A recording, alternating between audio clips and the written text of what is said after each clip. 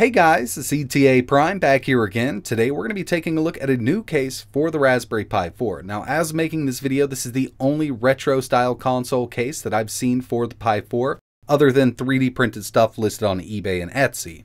But before we get into it, I do want to mention that this has nothing on the RetroFlag cases for the Raspberry Pi 3 and the Raspberry Pi 3B Plus. I've been waiting on them to release some cases for the Raspberry Pi 4, and rumor is they do have a couple in the works, but as of making this video, RetroFlag doesn't have anything out, so we're going to be taking a look at this new SNES style case that I picked up on Amazon for $14.99. And obviously, this is specifically designed for the Raspberry Pi 4. We have a totally different layout on the side, and the Ethernet and USB positions have been swapped, so you can't use an old Raspberry Pi 3 or a 3B Plus case for your Pi 4. And like I mentioned, this really can't be compared with the RetroFlag cases. This doesn't have a power switch or anything like that. It's a simple injection molded case, kind of modeled around the North American SNES. Does come with instructions, get a little screwdriver, some rubber feet, and your screws. Overall, it's definitely a very simple case, and let's go ahead and take a closer look here.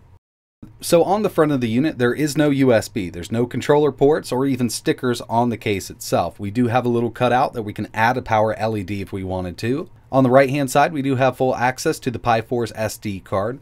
And on the left hand side, we'll have access to our Ethernet and USB ports. And real quick, I just wanted to mention that the Pi 4 status LEDs will be fully visible when this is enclosed in the case. The base version of this case is $14.99 and it doesn't come with any heat sinks, but it does come with a fan pre-installed. You can run this on 5 volts from the GPIO or 3.3. So obviously this isn't as feature packed as some of the other great cases we have for the Raspberry Pi 3 or the 3B Plus, but this is all we have right now as making this video for the Raspberry Pi 4. I've actually been searching around for a while for retro style console cases, and yes, you can find 3D printed stuff, but this is manufactured with injection molding and it's actually super clean. So assembly on this case is super easy. Like I mentioned, you can run this fan at 5 or 3.3 volts depending on the GPIO pins you connect it to, and I would recommend running a cheap fan like this on 3.3. They do include a little card here that tells you exactly how to hook it up for quiet mode. This case does not come with a heatsink, but I just added a cheap little 20mm aluminum heatsink here. This will not suffice for overclocking, but at the stock speeds it should be fine with this heatsink and the fan running at 3.3 volts.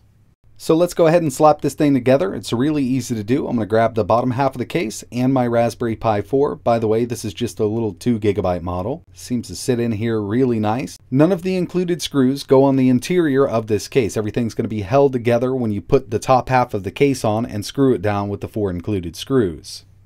I'm just going to connect the fan to the correct GPIO pins for 3.3 volts or quiet operation and the top half of the case should snap on here. Like I mentioned, we can see those status LEDs on the Pi 4 from the top, and they've also included a spot where you could add your own LED. I have a couple videos on that. I'll leave a link in the description if you're interested in doing that to a case like this.